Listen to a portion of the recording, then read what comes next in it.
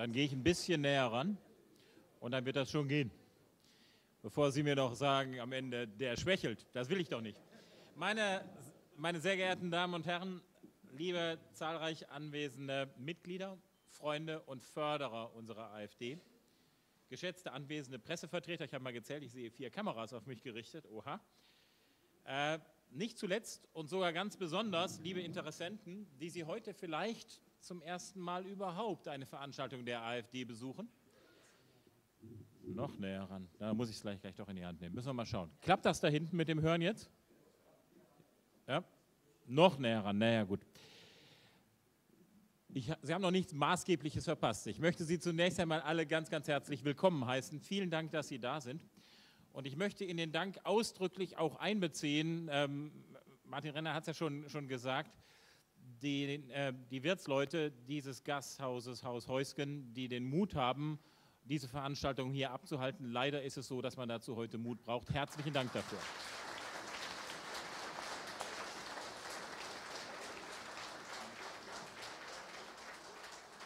Umso mehr danke ich Ihnen, da ja nun die Anfeindungen gegen unsere Partei und die Besucher unserer Veranstaltung leider zu Teilen auch ein Ausmaß angenommen haben, das jedem demokratischen Diskurs Hohn spricht. Einige von Ihnen haben sich, glaube ich, da draußen ein kleines Bild davon machen können, wobei, soweit ich das mitbekommen habe hier bei der Anfahrt, das hier relativ harmlos war. Ich habe das auch schon sehr viel heftiger erlebt.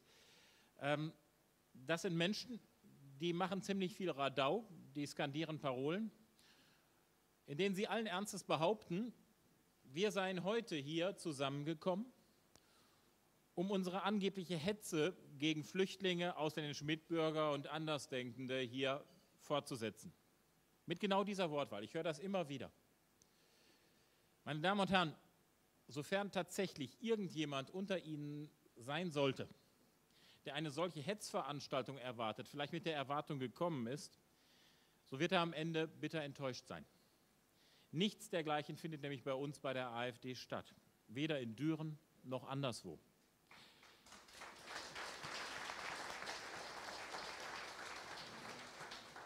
Stattdessen werden Sie bei uns das erleben, worauf unsere Partei von Anfang an größten Wert gelegt hat. Und was unsere politischen Gegner von den Kartellparteien, und ich nenne sie bewusst Kartellparteien, das wird im Laufe des Vortrages noch deutlich werden, warum, offenbar mittlerweile fürchten wie der Teufel das Weihwasser. Nämlich die sachliche Auseinandersetzung mit den Problemen dieses Landes verursacht durch eben jene Kartellparteien. Das ist das, wofür wir angetreten sind und nicht, wie man uns allenthalben immer wieder fälschlich unterstellt, zum Hetzen. Aber so sehr sie dies auch fürchten und uns mit unfairen Mitteln bekämpfen, diese Kartellparteien kommen an uns nicht mehr vorbei.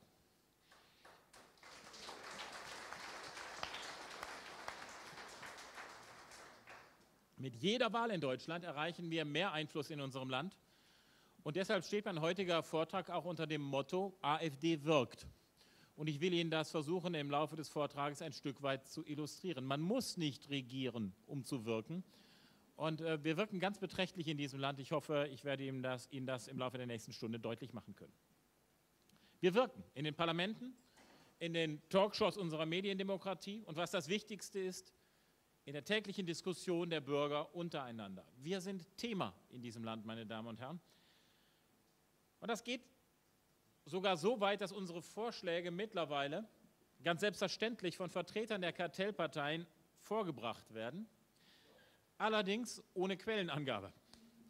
Doch dazu nachher mehr. Also die kopieren uns ganz einfach und geben das dann als ihres aus. Das ist ganz lustig, wenn man im Landtag sitzt, dann äh, bekommt man erstmal richtig mit, welche Dimension das inzwischen hat. Zuerst möchte ich Ihnen ein ganz aktuelles Beispiel zum Thema AfD wirkt benennen. Aus meiner eigenen Landtagsarbeit, die, wie Sie vielleicht wissen werden, in Baden-Württemberg stattfindet. Vielleicht ist es ja bis zu Ihnen vorgedrungen, dass es im Landtag von Baden-Württemberg vor nicht einmal zwei Wochen einen Hauruck-Beschluss gab, der in absoluter Rekordgeschwindigkeit durchgepeitscht wurde. 30 Stunden für das gesamte Gesetzgebungsverfahren. Es ging um die Verbesserung der Abgeordnetenausstattung und es ging um die, um, und es ging um die Altersvorsorge der Abgeordneten. Beide, beide Beschlüsse, die da getroffen wurden, gewähren den Abgeordneten ein üppiges Plus. Und deshalb haben wir beide Beschlüsse auch vehement abgelehnt. Und nur von uns wurde das abgelehnt. Man muss der Fairness halber sagen, die äh, Altersbezüge wurden von einer weiteren Kleinstfraktion namens FDP auch abgelehnt. Äh, aber alles andere haben die mitgetragen. Mit anderen Worten, die Kartellparteien haben sich in Summe mal wieder satt bedient. Und sie haben gedacht, sie haben ernsthaft gedacht, sie kämen damit ungeschoren durch. Und damit das möglichst wenig Aufsehen gibt, haben die das eben in Rekordgeschwindigkeit durch Parlament und Ausschüsse gepeitscht. Der Protest auch und gerade durch unsere AfD-Fraktion im Landtag lautstark artikuliert, war so groß, dass man sich nun bei CDU, Grünen und SPD gezwungen war, zumindest in der Pensionsfrage zurückzurudern. Und während gerade eben Herr Renner sprach, kriegte ich auf mein Handy eine kleine, ich muss das, muss das vorlesen, weil das so schön ist, ähm, einen kleinen Gesetzentwurf der Fraktion Grüne, der Fraktion der CDU, der Fraktion der SPD und der Fraktion der FDP, genannt vom heutigen Tage, aktueller geht es wirklich nicht, Gesetz zur Aufhebung des Gesetzes zur Änderung des Abgeordnetengesetzes. Ja? Äh, Wortlaut. Das, Sie verstehen, das musste ich zitieren. Kurzum, hier geht es um die Rücknahme äh, des Gesetzes, das man am 10. Februar 2017, also vor elf Tagen im Parlament, beschlossen hat. Wie sagte ich, AfD wirkt, meine Damen und Herren. Ja? Herr Dr. Meuthen, Entschuldigung, man kann Sie hinten immer noch nicht verstehen. Man hat immer mir gerade Bescheid mach, gesagt. Dann mache ich Folgendes, dann nehme ich das raus und nehme das. Sehr schön, so, danke ja? schön. Damit, damit die Freude an solchen Vorkommnissen auch dem ganzen Saal zuteil wird. Gut, dann, dann mache ich das ab jetzt so.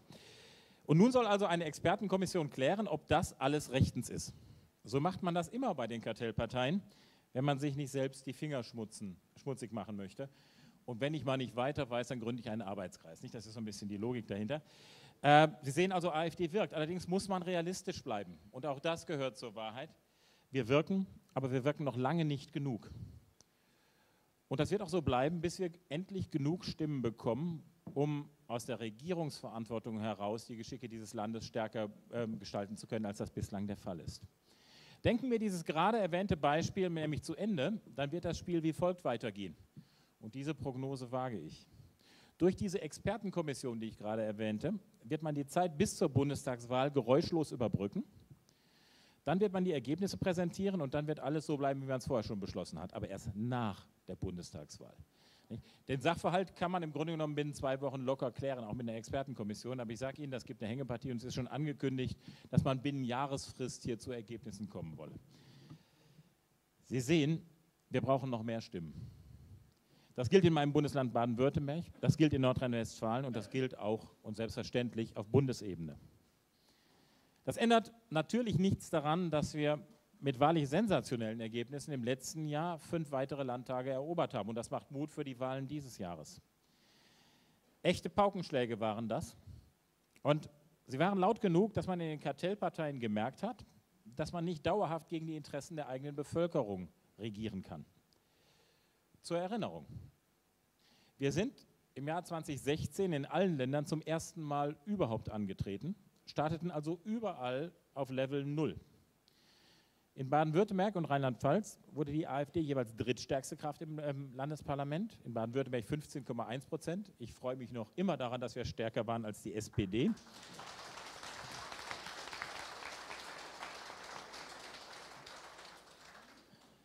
Das werden wir vielleicht bei der Bundestagswahl nicht ganz schaffen, aber wir können ja daran arbeiten. Äh, in Rheinland-Pfalz mit 12, obwohl wer weiß, wer weiß. Die haben einen, einen solchen Kanzlerkandidaten, dass da auch noch einiges geht. Im Moment sind die gehypt, aber der, der, wird, der wird sich schon noch entlarven. Er hat noch ein halbes Jahr Zeit und wir arbeiten mit an dieser Entlarvung. In Sachsen-Anhalt war die Entwicklung noch deutlicher, 24,3 Prozent zweitstärkste Kraft auf Anhieb. Und sehr erfreulich, das ist immer noch ein Applaus wert, in der Tat. Sehr erfreulich war die Wiederholung des Erfolges zweitstärkste Kraft dann in Mecklenburg-Vorpommern, auch mit über 20 Prozent. Da war die AfD stärker als die CDU.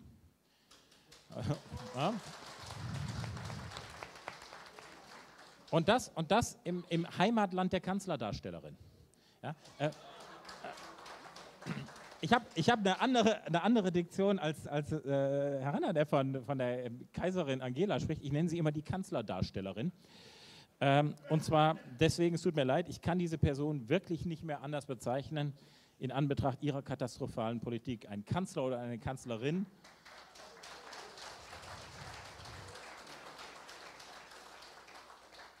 hat dem Wohle des deutschen Volkes zu dienen und das kann ich hier nun wahrlich nicht erkennen. Selbst im traditionell äh, links-rot-grünen Berlin gelang unserer jungen Partei mit 14,2 Prozent ein von den Gegnern nicht für möglich gehaltener Erfolg. Spätestens in Berlin dachten die, gehen die im Bach runter, weil Berlin ist sowas von links, das wird nichts. Aber so kann man sich täuschen, Sie sagen es, so kann man sich täuschen. Ähm, auch da äh, waren wir eben hoch erfolgreich und da ist nun Angst. Und damit meine ich nicht nur die Konsensparteien, die bekanntlich Angst haben um ihre Futtertröge. Ich meine auch Menschen an bestimmten medialen Schalthebeln dieses Landes, die keine Gelegenheit auslassen, uns aber tüchtig eine reinzuwirken. Ist Ihnen zum Beispiel schon mal aufgefallen? Sobald eine Meldung kommt, die unsere Partei zum Gegenstand hat, überschlagen sich die Journalisten förmlich damit, wie sie es nennen, einordnende Bezeichnungen vorzunehmen. Da bedarf es also der Einordnung. Und die beliebteste Einordnung ist die, die Rechtspopulisten von der AfD. Das ist ein Kampfbegriff, Rechtspopulismus. Der ist zwar nirgends widerspruchsfrei definiert, und das macht ihn so gefährlich. Dann kann er nämlich praktisch überall und gegen alles und jeden eingesetzt werden. Und das geschieht hier. Es hört sich irgendwie bedrohlich an. Keine freundliche Vokabel. Ich glaube, das ist jedem klar. Jedenfalls bedrohlich genug, um verschreckte Bürger davon abzuhalten, sich überhaupt nur näher mit unserem Programm zu beschäftigen. Und das ist übrigens das, was wir im Kern wollen. Wissen Sie, als guter Demokrat muss man akzeptieren, dass wenn man sich mit, dem, mit unserem Programm beschäftigt und man ist dann anderer Auffassung und hält das alles für nicht der eigenen Position entsprechend, ja, dann wählt man uns eben nicht. Und wenn das 60, 70 Prozent äh, in unserem Land nicht tun, dann haben wir immer noch genug, um hier richtig was zu erreichen. Aber das ist das, was wir wollen, dass man sich mit unserem Programm beschäftigt, dass man endlich an die Inhalte dieser Partei rangeht. Und man sagt, Sie sagen ja immer, Sie wollen uns in unseren Inhalten entlarven ja, begönnen Sie doch endlich mal damit. Dann könnte man nämlich sehen, wer da wen entlarvt.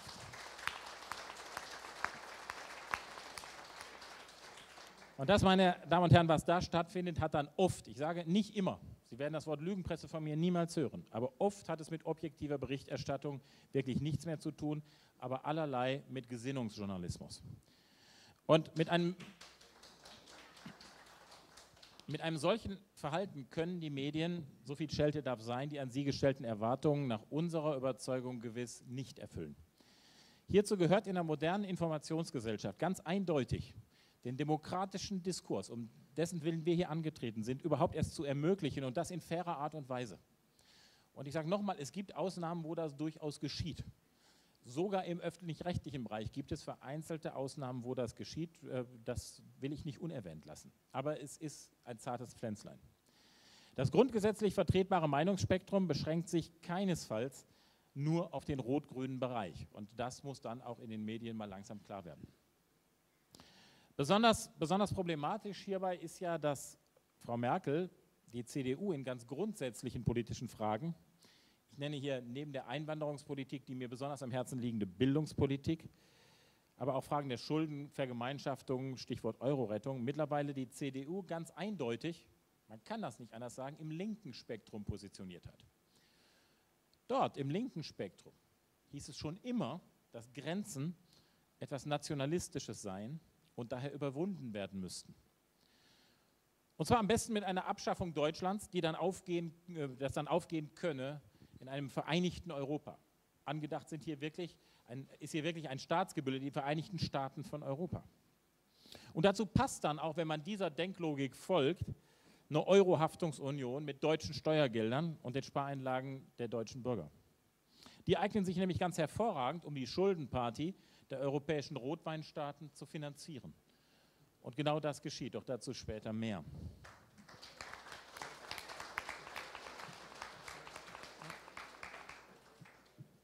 ich will da Herrn Schulz nicht unerwähnt lassen. Wissen Sie, das ist einerseits ist das, ist das ähm, natürlich sind das Vorhaltungen an die Kanzlerin, ähm, ohne jede Frage. Auf der anderen Seite seien Sie sich bitte darüber im Klaren, und das werden wir im Wahlkampf deutlich machen, was dieser Martin Schulz in Europa als Vorzeigeeuropäer für eine Politik gegen das eigene Land angerichtet hat, und zwar in Permanenz. Martin Schulz steht wie wenige für diese Vereinigten Staaten von Europa, ein Europa vermeintlicher Eliten, ähm, die uns in dieser Ausgestaltung der Europäischen Union jedenfalls ganz sicherlich zum Nachteil gereichen. Kaum einer steht dafür so wie Schulz, Juncker und eine, einige wenige andere. Das wird gerne übersehen. Und da müssen wir angreifen und da werden wir angreifen. Wir haben ein halbes Jahr Zeit, das den Bürgern dieses Landes klarzumachen und das werden wir tun.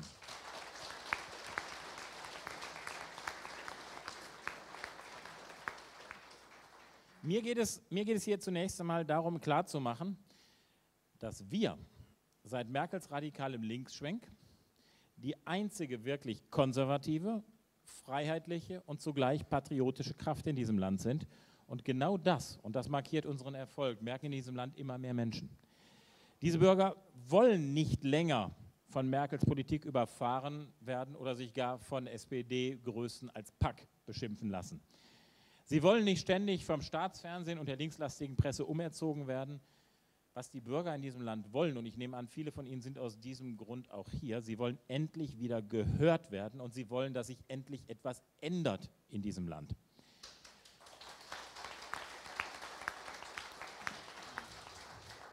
Und das, was sich da ändern soll, das ist gar nicht so hochintellektuell. Wir wollen im Grunde genommen nichts, nicht mehr als das, dass sich die Politik wieder zurückbegibt auf einen Weg des gesunden Menschenverstandes, den wir ganz offenkundig in nahezu allen Politikfeldern, einige werde ich gleich markieren, verlassen haben.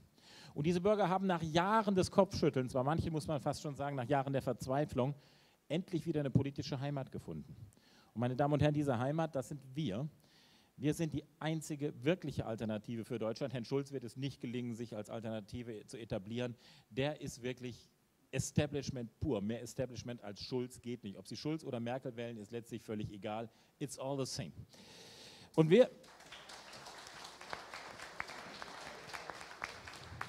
Und wir sind gekommen, um zu bleiben. Und wir haben vor, dieses Land, unsere Heimat, endlich wieder auf einen guten Weg zu bringen. Ja, manchmal, manchmal, ich habe das mal auf dem, auf dem Stuttgarter Parteitag gesagt, ähm, manchmal haben auch Vertreter der, der Kartellparteien recht. Da hatte der Herr Maas gesagt, die AfD, das seien ganz üble Gesellen, die wollten Deutschland verändern. Die wollten ein anderes Deutschland machen. Und da habe ich gesagt, ja, recht hat er. ja? Äh, das war dieser Spruch von dem links-rot-grün versifften Deutschland, der mir dann ähm, lange nachhing, aber ich stehe dazu. Es wird wirklich höchste Zeit dazu. Die Politik der letzten Jahre hat die Weichen grundfalsch gestellt.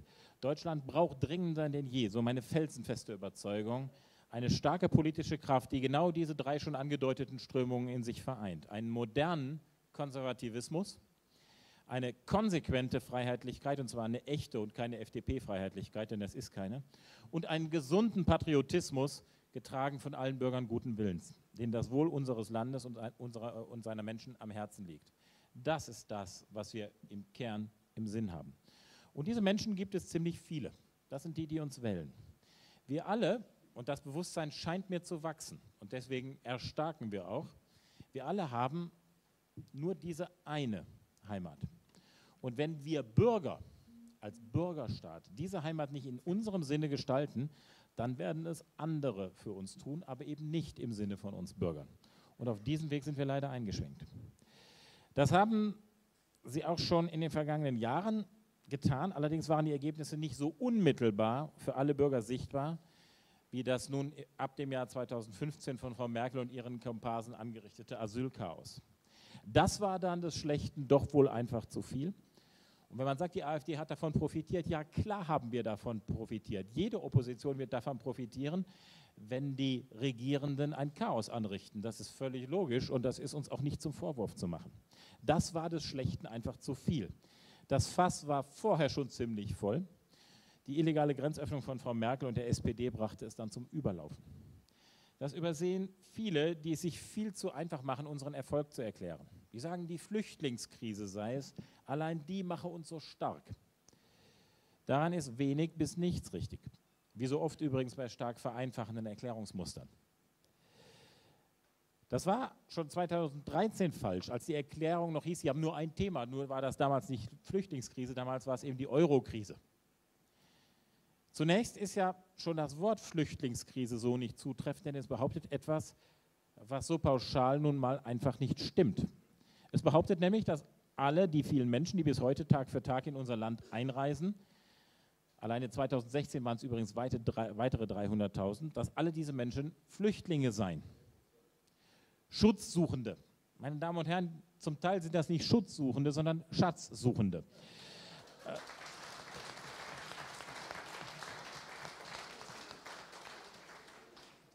Was ich Ihnen übrigens nicht zum Vorwurf machen würde. Wenn man die Gelegenheit dazu schafft, dann tun die das. Auch dazu vielleicht gleich noch ein Satz.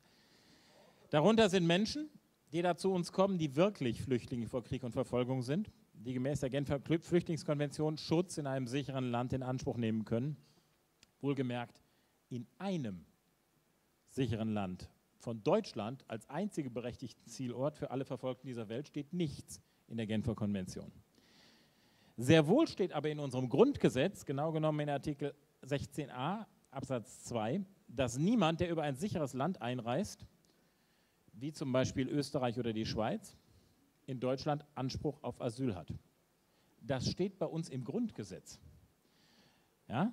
Damit wir hier keine Missverständnisse aufkommen lassen. Auch wir von der Alternative für Deutschland wollen also, das wird gerne hinten runterfallen gelassen. Auch wir wollen, dass Menschen in elementarer Not geholfen wird. Über Ort und Art der Hilfe muss aber in einer Demokratie vorher diskutiert werden, anstatt einfach unumkehrbare Fakten zu schaffen. Und dass diese in sehr vielen Fällen unumkehrbar sind, das ist nun unübersehbar. Weil wenn sie einmal hier sind, werden wir sie niemals alle wieder loswerden. Das ist nun mal einfach so. Auch darauf, äh, dazu gleich noch ein paar Worte. Neben den genannten wirklich vor Verfolgung Flüchtenden gibt es aber eben auch nicht wenige Menschen, die keine Flüchtlinge sind.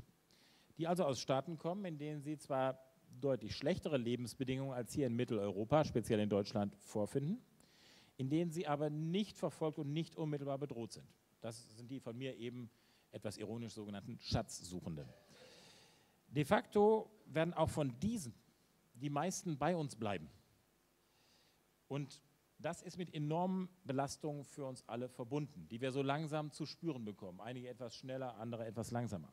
Natürlich merken das die Bürger und natürlich sind diese Bürger froh, dass es mit uns nun wenigstens eine bedeutsame demokratische Alternative gibt, die diese Dinge zumindest anprangert, die sie zu ändern trachtet.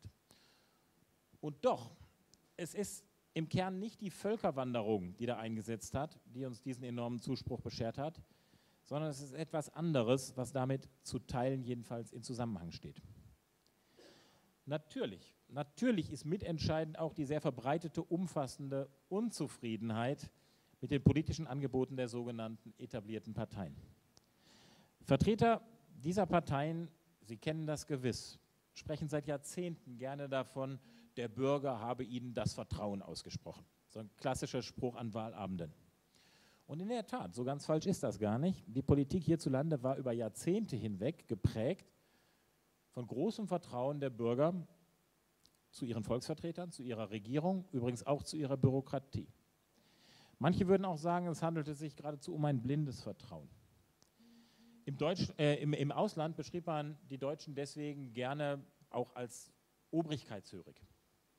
Und zum Teil ist es richtig. Es schien in unseren Breiten weitgehend unvorstellbar, dass eine Regierung nicht zum Wohle des deutschen Volkes handeln und Schaden von ihm abwenden werde. Nebenbei sei bemerkt, alle diese Formulierungen, die ich hier erwähne, stehen so im Grundgesetz, Artikel 56. Und das ist auch gut so, denn das Staatsvolk ist eines der drei konstitutiven Elemente eines Staates. Neben Staatsgebiet und Staatsgewalt auch das Staatsvolk die Parteien hier in Nordrhein-Westfalen schert das indessen wenig. Das deutsche Volk hat man im letzten Jahr klammheimlich und mit Zustimmung aller derzeit im Landtag vertretenen Parteien aus der Eidesformel gestrichen. So einfach geht das und das ist keine Petitesse. Das ist wichtig. So einfach geht das. Man schwört in Zukunft, die Kraft dem Wohle des Landes Nordrhein-Westfalen zu widmen. Ähm, vom Volk, vom deutschen Volk ist dann nicht mehr die Rede. Dieser nächste Schlag gegen unser Nationalbewusstsein ist übrigens für die Grünen ein, Zitat, wichtiges integrationspolitisches Signal. So hört, hört man es aus dem Lager der Grünen. Die Durchsetzung einer, nochmal Zitat,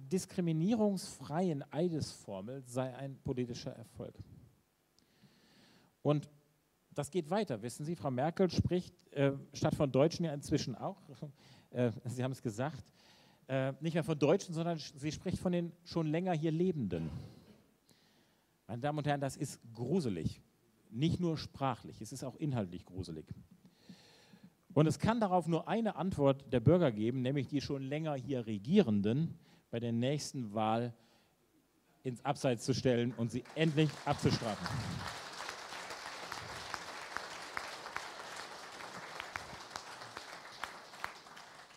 Das ist alles kein Erfolg, was die da machen und als solchen verkaufen. Das ist ein weiterer Beleg zu einer schrittweisen und sich deswegen unbemerkt vollziehenden Abschaffung Deutschlands. Und ein weiterer Beleg für meine gerade eben genannte These, dass sich das Bewusstsein der handelnden Politiker offenbar dramatisch geändert hat. Wir haben es heute größtenteils mit Politikern zu tun, die dem Anspruch ihres Amtseides nicht mehr gerecht werden. Politiker ohne jede Grundposition, weder ethisch noch politisch. Politiker, die von Werten sprechen, besonders gerne in Sonntagsreden, die sie meistens nicht einmal konkret nennen, geschweige denn, dass sie sie zu definieren wüssten. Politiker, die vermeintlichen Stimmungen hinterherlaufen, sich aus Angst vor Shitstorms in allgemeine Phrasen flüchten und bei denen Handeln und Reden nicht im Einklang stehen. Ich weiß auch nicht, warum mir jetzt gerade der Name Seehofer in den Sinn kommt. Äh,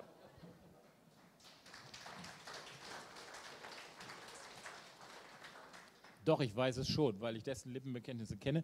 Seehofer ist sozusagen eins zu eins AfD-Thematik, nur machen tut er das nie. Da, bei Seehofer, achten Sie mal darauf, hat, hat, haben Worte und Taten eine so eklatante Lücke, das ist schier unfassbar. Wenn Sie, wenn Sie ihm zuhören und sagen, was, äh, mal zuhören, was der sagt, dann ist das alles im Grunde genommen das, was wir auch sagen.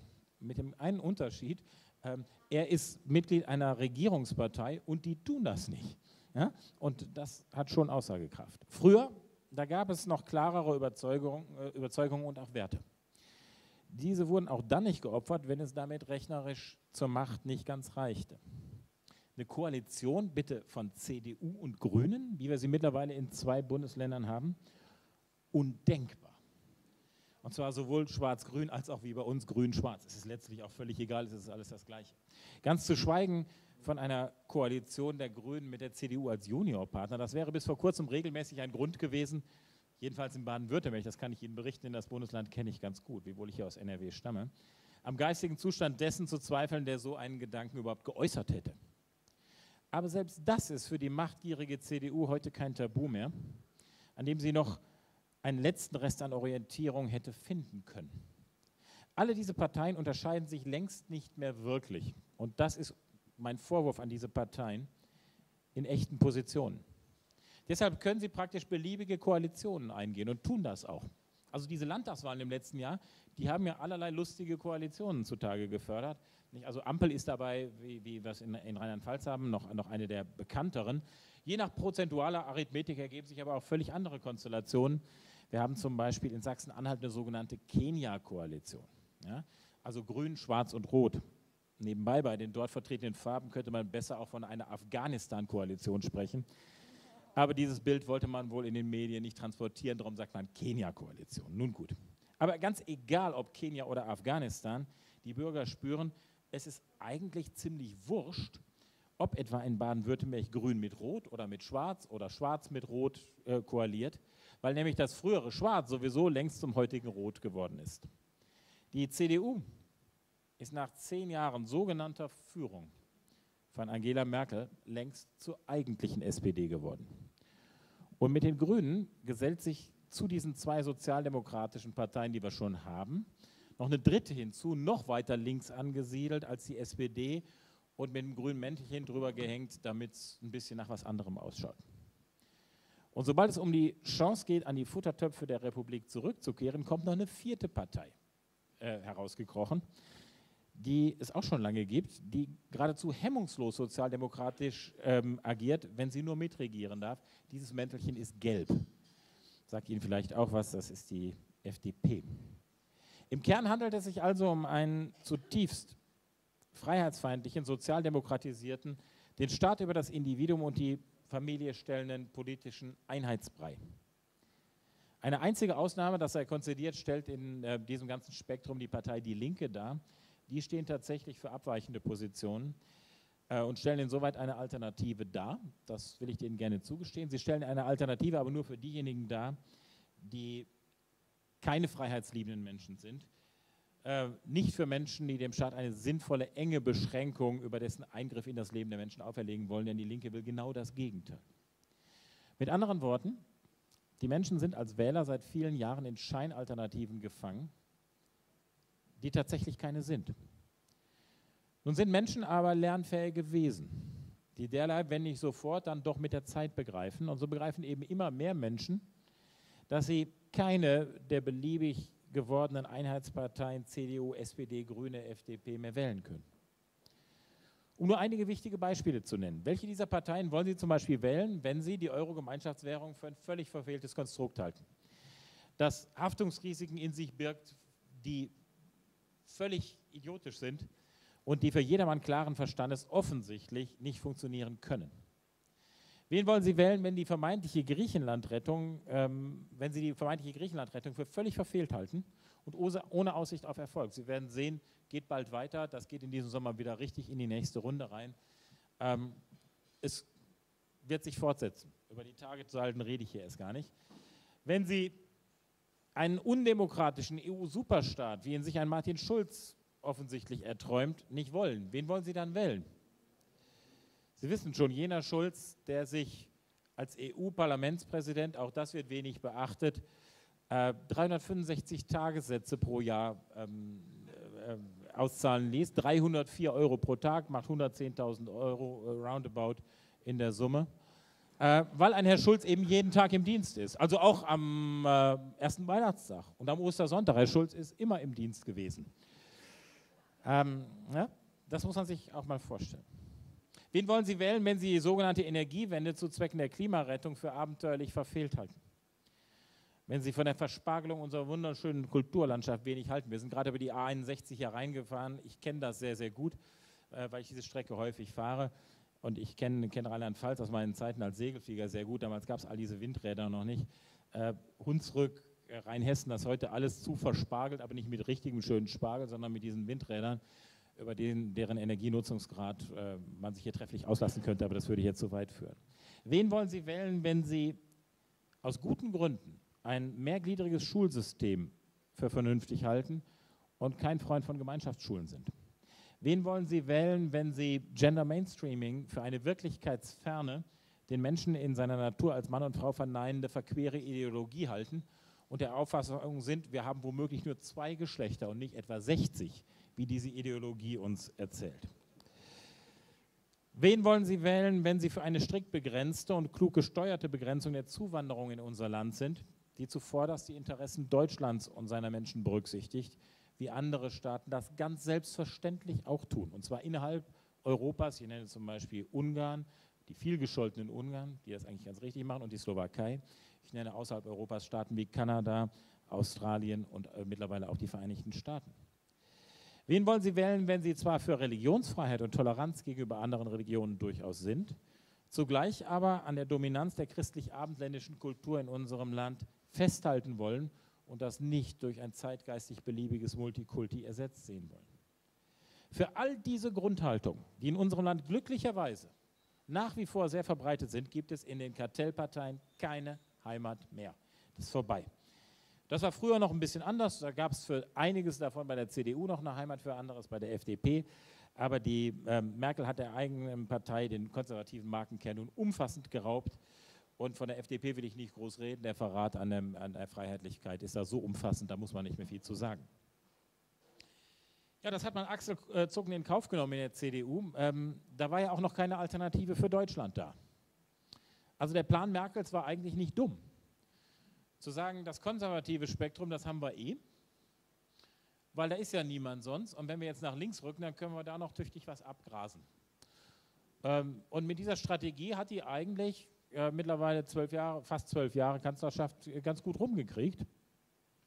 Sprich, man glaubte, die bisherigen Wähler bleiben der CDU auf ewig erhalten. Gleichzeitig äh, bekommt man aus dem linken Lager den einen oder anderen hinzu und dann wird das schon gehen.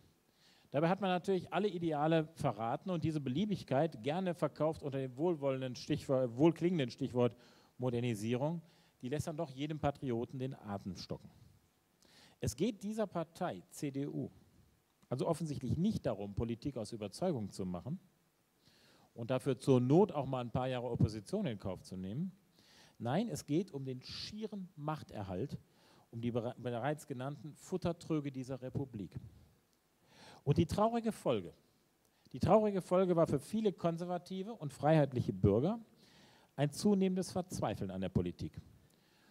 Und was hat man dann gemacht? Man hat sich in den unpolitischen Raum zurückgezogen. Viele haben sich von der Politik bereits innerlich abgewandt.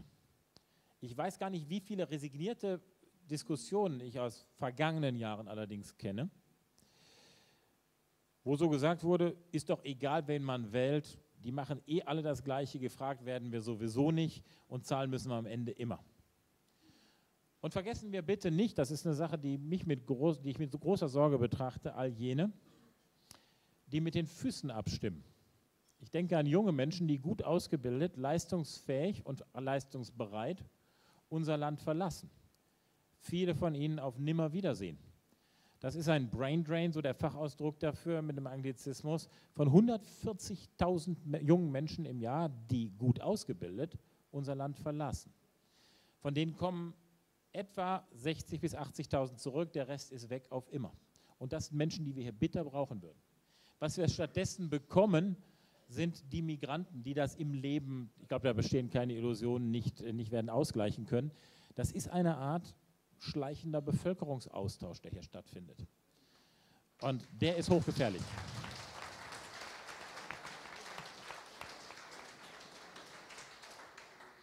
Nun, ich will den Narrativ fertig erzählen, so hätten die Politiker aller Parteien gemächlich weiter regieren können, gut gepampert von staatlichen Geldern.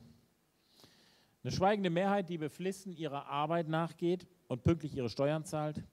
Eine schwindende Wahlbeteiligung, was soll's, die Parlamente sind trotzdem voll. Das alles hatte für politische Verantwortungsträger keinerlei Bedeutung. Die Prozentbalken an den äh, Wahlabenden haben ja nicht gezeigt, wie viele Leute gewählt haben, sondern wie viele relative Prozentpunkte man hatte. Und die Parlamentssitze werden an treue Parteigenossen sowieso immer vergeben, egal wie viele Menschen zur Wahl gegangen sind. Und dann hat sich eben eine immer größere Zahl an Menschen die Frage gestellt, wieso? Wieso muss oder soll ich es eigentlich einfach hinnehmen, dass Beamte in Ministerien einen Bildungsplan für meine Kinder benennen, zum Beispiel, bestimmen, der Inhalte hat, die mir die Haare zu Berge stehen lassen und mich um die Erziehung und Bildung meiner Kinder fürchten lassen. Sie glauben gar nicht, wie viele besorgte Briefe von Eltern ich bekomme in meiner Funktion da im Landtag, die sagen, tun Sie endlich was. Wir können uns nicht wehren, wir haben eine Schulpflicht, wir wollen bei diesen Bildungsinhalten unsere Kinder gar nicht mehr in die Schule schicken. Ich kriege solche Briefe mehrere pro Woche. Und ich könnte auch, die, da wird eindrucksvoll begründet, warum die diese Sorgen haben. Und ich teile diese Sorgen nicht zuletzt als Vater von fünf Kindern, habe ich so ein bisschen, so ein bisschen Überblick über, über schulische Geschichten. Ähm, da kann man sich schon die Frage stellen, bei manchen Unterrichtsinhalten will man die Kinder da überhaupt hinschicken. Das kann doch die Antwort nicht sein in unserem Land, nun wirklich nicht. Wieso muss ich es hinnehmen? Anderes Beispiel, dass mit deutschem Steuergeld die griechische Steuervermeidungsorgie finanziert werden soll. Oder wieso muss ich es hinnehmen, dass meine Regierung durch das äh, Unterlassen einer wirksamen Grenzsicherung die innere Sicherheit und den sozialen Frieden unseres Landes gefährdet, beziehungsweise inzwischen zu Teilen sogar außer Kraft setzt? Schauen Sie, diese Fragen stellen sich die Menschen im Land völlig zurecht. Und weil sie tatsächlich freier und intelligenter sind, als manche Politiker der Kartellparteien das offenbar glauben, suchten sie nach Antworten auf diese Fragen und dann kamen wir und sie fanden eine echte Alternative, eben buchstäblich die Alternative für Deutschland, wie es der Parteiname ja bereits sagt. Darauf haben offensichtlich viele lange sehnlichst gewartet. Das erklärt den Erfolg meiner Partei. Es ist nicht ein singuläres Thema. Es sind ganz viele Themen, wo die Kartellparteien versagt haben und wo die Menschen schon resigniert waren und dann kamen wir. Und nun gibt es eine Alternative zum erschreckenden links-rot-grünen Einheitsbrei äh, der Altparteien. Diese Menschen wollen konservative Politik, sie wollen freiheitliche Politik und sie wollen auch gesunden Patriotismus leben dürfen. Lassen Sie mich.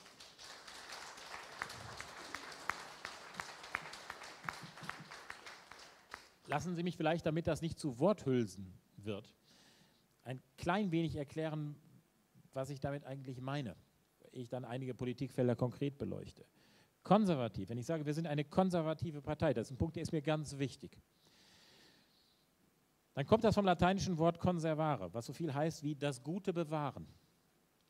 Konservativ zu sein bedeutet also mitnichten reaktionär zu sein, sich jeglichen Neuerungen zu widersetzen, sondern es heißt mit Augenmaß und einem klaren Wertegerüst zu entscheiden, was bewahrenswert ist und auch was besser Neuem weichen sollte. Vom fehlenden Wertegerüst habe ich bereits gesprochen. Nun scheint in den letzten Jahren bei den bisherigen Volksparteien auch das Augenmaß abhanden gekommen zu sein. Bei den Grünen konnte das nicht passieren, weil die haben nie eines gehabt in ihrem Weltverbesserungswahn. Ich versuche es gleich am Beispiel noch zu illustrieren. Freiheitlich, der zweite Begriff, das bedeutet Eigenverantwortung und Selbstbestimmtheit über Gängelung und Fremdherrschaft zu setzen. Es ist meine feste Überzeugung, dass jeder hier im Saal ein Bewusstsein dafür hat, was gut für ihn ist und was nicht. Und dazu braucht es zunächst mal keinen Staat, der bis ins letzte Lebensdetail hineinregiert und uns alle mit oberlehrerhafter Attitüde gängelt und maßregelt. Das ist wichtig. Ne? Die Grünen haben das zum Beispiel nicht kapiert, deswegen sind die mit ihrem Veggie Day so fürchterlich auf die Nase geflogen. Genau das sind diese Maßregelungen, wo die Bürger sagen, halt, stopp mal, darüber möchte ich selbst bestimmen. Und Recht haben sie. Ja? Patriotisch, der dritte der drei, der drei Begriffe, die ich nenne, um den Kern meiner Partei zu markieren, ist ein Begriff, den man in 192 von 193 Ländern weltweit eigentlich niemand erklären muss. Die Menschen in diesen 192 Ländern wissen, was sie ihrer Heimat zu verdanken haben und haben eine innige Verbindung zu ihrem Vaterland.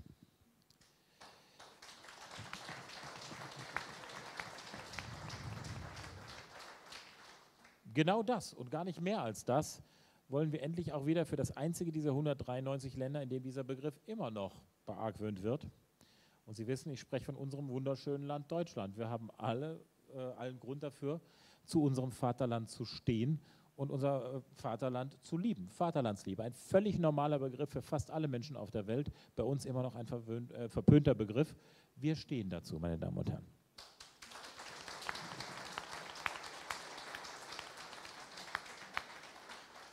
Und das Letzte, was wir da gebrauchen können, ist eine Vizepräsidentin des Deutschen Bundestages namens Claudia Roth, die, Sie haben es ja genannt, die, die wirkt immer. Man muss den Namen nur sagen, dann reicht schon. Die, aber jetzt mal Flachs beiseite. Äh, die in Demonstrationszügen mitläuft, an deren Spitze äh, äh, intoniert wird, in Sprechchören Deutschland verrecke, Deutschland Hals Maul und Deutschland du mieses Stück Scheiße. Und Frau Roth geht als stellvertretende Präsidentin des Deutschen Bundestages da mit. Ein eklatanteren äh, Widerspruch zu jedweder Form von Patriotismus ist schlechterdings nicht denkbar.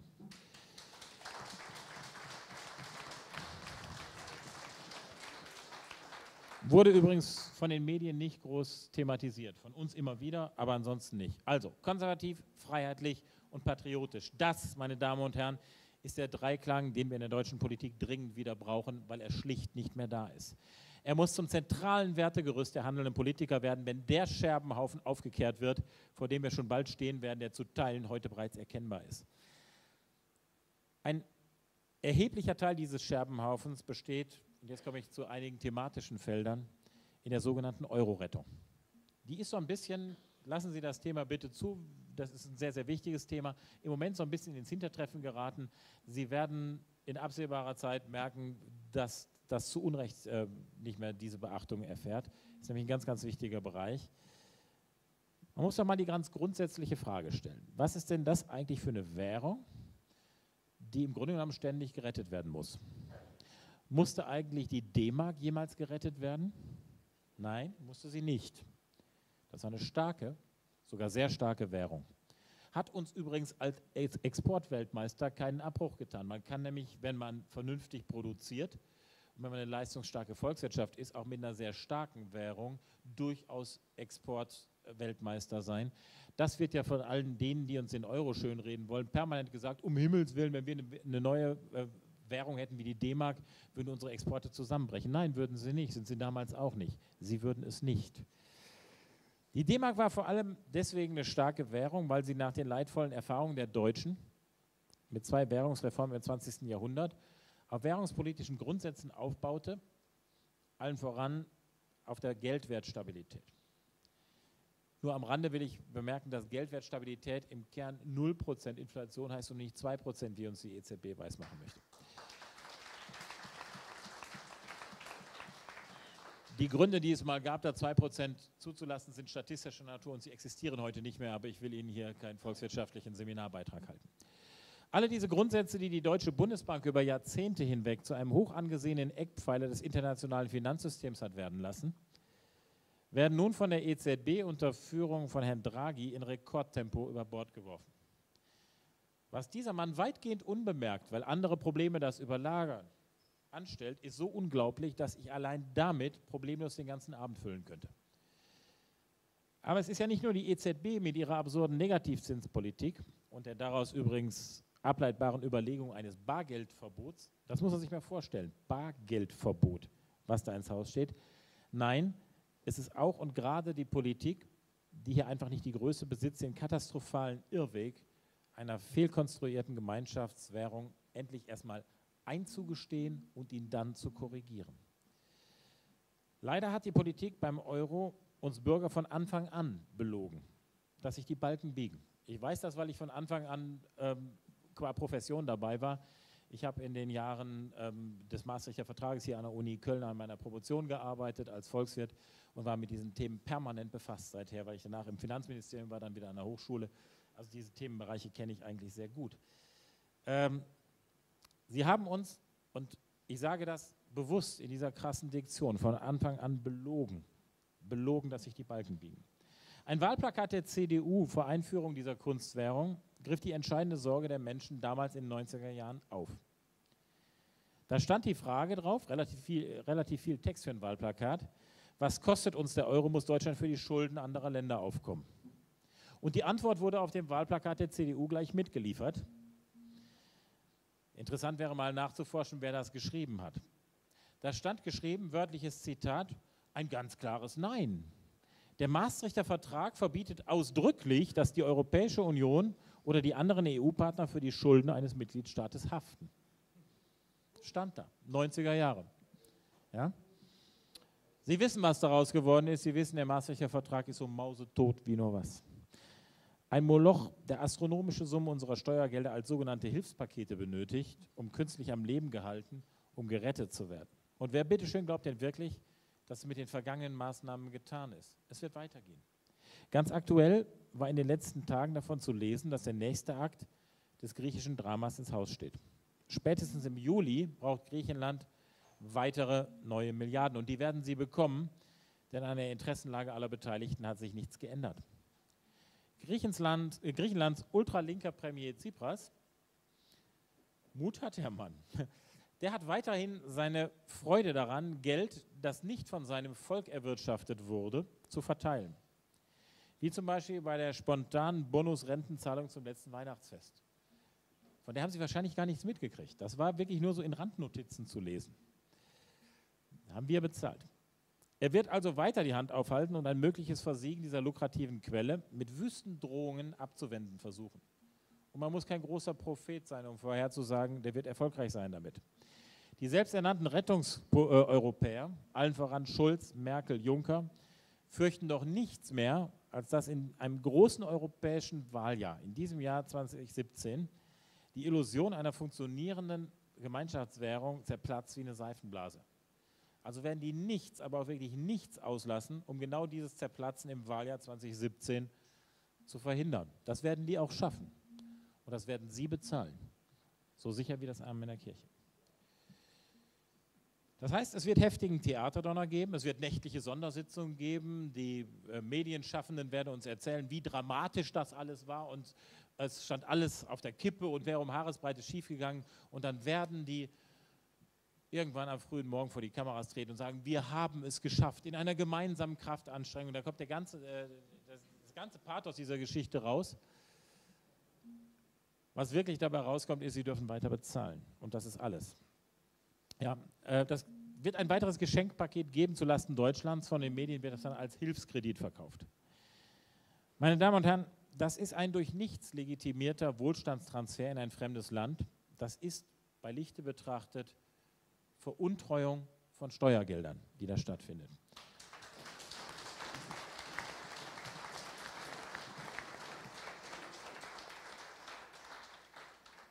Nun können wir uns das tatsächlich, der Wahrheit sei Genüge getan, in puncto Griechenland noch leisten, weil Griechenland ein relativ kleines Land ist und das relativ wenig Menschen sind.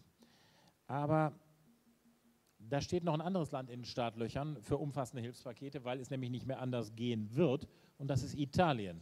Und das ist eine komplett andere Liga, nicht nur fußballerisch. Ja? Ähm, Italien können wir uns nicht leisten, das ist eine ganz andere Hausnummer.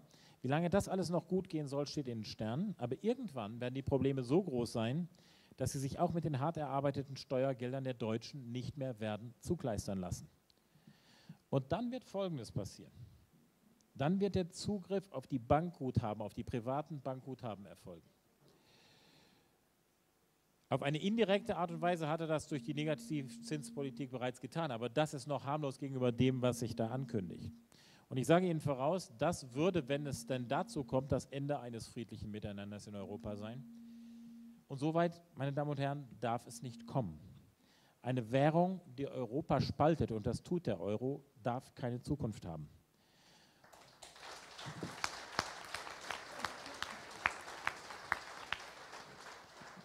Letztlich, letztlich passiert das alles nur deshalb, weil die Politik nicht verstanden hat, wozu ein kleiner Mechanismus namens Wechselkurs eigentlich gut ist. So kommt es eben, wenn die Politik sich arrogant über alle fachlichen Warnungen, an denen es nicht gemangelt hat, hinwegsetzt. So wie viele andere Kollegen aus, meiner, aus meinem Beruf der Volkswirtschaftslehre heraus, kann auch ich über diese Fehlkonstruktion nur den Kopf schütteln. Noch mehr aber über das sture Beharrungsvermögen der deutschen Politik, sich diesen Fehler, diesen Kardinalfehler nicht einzugestehen. Die weigern sich standhaft, ihr völliges Versagen auf diesem Gebiet zu offenbaren und erfinden lieber monströse Haftungsgebilde wie ESM und EF, äh, EFSF. Dabei sind die Namen nicht entscheidend. Entscheidend ist, was das für uns bedeutet, nämlich den Transfer astronomischer Summen unseres Steuergeldes und damit unserer Arbeitskraft in die überschuldeten Südstaaten Europas. Und glauben Sie nicht, dass wir da nur haften und dass wir nicht zahlen müssten. Wir zahlen längst. Es sind 21 Milliarden Steuergelder etwa in den ESM eingezahlt worden. Und die hat nicht Herr Schäuble aus seiner Privatschatulle eingezahlt. Wohlgemerkt, überschuldete Staaten von überschuldeten Bürgern kann dort laut offizieller EZB-Statistik gar nicht die Rede sein. Das durchschnittliche Pro-Kopf-Vermögen am Median gemessen betrug im Jahr der Befragung, die man durchgeführt hat, das war das Jahr 2010, hat sich seither aber nicht maßgeblich geändert, in Griechenland knapp 39.000 Euro Privatvermögen, in Italien und Spanien sogar 68.000 Euro. Und Deutschland? Wir liegen auf dem vorletzten Platz der Europäischen Union mit 25.000 Euro Privatvermögen im Schnitt. Schlechter ist ja nur noch die Slowakei mit 22.000. Und da sollen wir jetzt zahlen für die jahrelange Verschuldungsorgie und Steuervermeidungsparty in Südeuropa? Wenn es nach den Kartellparteien geht, dann werden wir das ganz selbstverständlich auch weiterhin tun nur um ja nicht deren Utopie der Vereinigten Staaten von Europa zu gefährden. Genau genommen zahlen wir sogar dreimal. Achten Sie mal drauf, an sich selbst. Sie zahlen einmal als direkte Beteiligung an den ganzen Geschenkpaketen, Steuern. Sie zahlen zweitens durch die künstlich niedrigen Zinsen in Deutschland, die den Durchschnittssparer kalt enteignen. Und sie zahlen drittens durch die drohende Altersarmut, da die jahrzehntelang stabilen Vorsorgestrategien allesamt nicht mehr funktionieren. Meine Damen und Herren, wenn wir diesen Weg weitergehen, enden wir in einem ökonomischen Desaster. Er muss kontrolliert beendet werden und wir werden das tun, so man uns denn lässt, im Interesse des Wohlergehens unseres Landes, aber auch ganz Europas. Ich nenne einen, einen weiteren Teil des Scherbenhaufens, von dem ich anfangs gesprochen habe, und komme auf die Bildungspolitik kurz zu sprechen. Zitat. Es gibt nur eines, was auf Dauer teurer ist als Bildung, nämlich keine Bildung.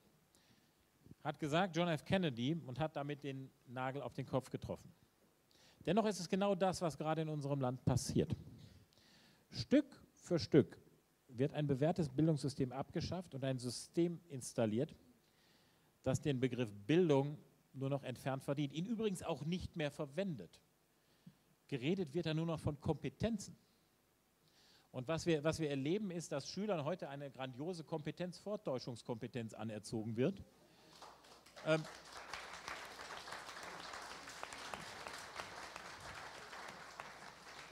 hey, das, das haben die drauf. Ja, die, macht, die machen die tollsten Präsentationen, aber sie dürfen nicht fragen, was sie da gemacht haben, weil dann wird es kritisch. Und das geht übrigens, setzt sich an der Uni nahtlos fort. Ich äh, weiß, wovon ich da spreche. Ähm, die Bildung geht verschütt bei der ganzen Geschichte. Der Weg weg vom klassischen mehrgliedrigen Schulsystem hin zu den Gemeinschaftsschulen ist ein weiterer Schritt hin zum sozialistischen Einheitsmenschen. Dabei ist es eigentlich so klar. Übrigens ein kernfreiheitlicher Gedanke. Die guten und besseren Schüler fühlen sich unterfordert und die Schüler mit erhöhtem Lernbedarf, die fallen hinten runter. Willkommen im totalen Mittelmaß für alle. War Deutschland früher also noch bekannt für seinen hohen Bildungsstandard, wird nach flächendeckender Einführung der Gemeinschaftsschule davon nichts mehr übrig sein. Ich betrachte das vielleicht, da merke ich, dass ich zum Landespolitiker ein Stück weit geworden bin, aus einer spezifisch baden-württembergischen Perspektive. Baden-Württemberg war eines von drei Bundesländern, die in allen Bildungsrankings ganz vorne lagen. Das waren Sachsen, Bayern, Baden-Württemberg. Dann kamen die Grünen an der Regierung. Und dann haben die Gemeinschaftsschule pur gemacht. Erst mit Rot-Grün und jetzt setzt ähm, äh, Grün-Schwarz, äh, nee, Grün-Rot und dann setzt Grün-Schwarz das nun fort. Die machen nämlich auch nichts anderes. Gemeinschaftsschule pur. Und was passiert in den Studien? Baden-Württemberg ist durchgereicht mittlerweile auf Platz 9 in allen Fächern, Tendenz weiter sinkend. Warum? Umstieg auf die Gemeinschaftsschule. Meinen Sie, das führt nun dazu, dass, dass man umkehrt, dass man sagt, war ein Irrtum, wir lassen das? Nein, nein, dann will man jetzt eben die Gemeinschaftsschule verbessern. Ich glaube, ich muss Ihnen hier in Nordrhein-Westfalen relativ wenig davon erzählen. Also ich kann mich noch so an meine Kindheit in, in Essen erinnern. Diese, diese Ideen mit Gemeinschaftsschule, die gab es schon damals. Da nannte man das Koop-Schule, kooperative Schule ist Jahrzehnte her, war in den 70er Jahren. Ähm, hier ist ja nun SPD-Land äh, pur über, über all die Jahrzehnte gewesen. Und ähm, da macht man das eben mit Gemeinschaftsschule. Und die Bildungsresultate in, äh, in Nordrhein-Westfalen, Sie betrachten das aus, aus dieser Perspektive heraus, die sind traditionell schlecht. Das tut dann vielleicht nicht ganz so, äh, ganz so weh, wie wenn Sie aus einer guten Perspektive in die, in die schlechte hineinkommen. Aber statt dass NRW mal das übernehme, was Baden-Württemberg gemacht hat, kopiert Baden-Württemberg äh, Baden mittlerweile NRW. Es ist tief traurig. Das sind, das sind sozialistische Experimente an unseren Kindern, die sich da vollziehen. Es ist das Gegenteil richtig. Ein mehrgliedriges Schulsystem ermöglicht jedem Schüler, sich nach seinen jeweiligen Stärken in den Unterricht einzubringen und so im besten Ausmaß davon zu profitieren. Glauben Sie mir, ich weiß, wovon ich da spreche. Ich habe ja selbst fünf Kinder, die unterschiedlicher nicht sein könnten, übrigens auch im Hinblick aufs Lernverhalten. Das ist auch keine Katastrophe, wenn Kinder nicht so stark sind im Lernverhalten. Die haben alle Talente, die haben nur unterschiedliche. Das müssen nicht alles Gymnasiasten werden, es müssen nicht alle Leute, äh, alle, alle jungen Leute studieren, promovieren oder sonst was, sondern die haben unterschiedliche Talente und da ist die äh, Wahrung der Unterschiedlichkeit auch im Ausbildungssystem von großer Notwendigkeit. Aber auch hier beweisen die selbsternannten Volkserzieher aufs Neue, welche Weltanschauung sie haben. Individualität ist für diese Menschen eine Bedrohung.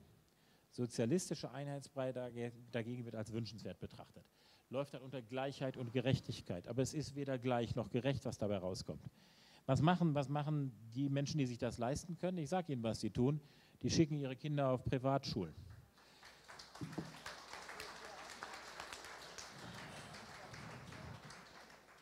wo sich dem Vernehmen nach, auch das wüsste ich an Beispielen zu belegen, viele Sprösslinge von äh, SPD und Grünen Prominenz dann wiederfinden. Aber lassen wir das.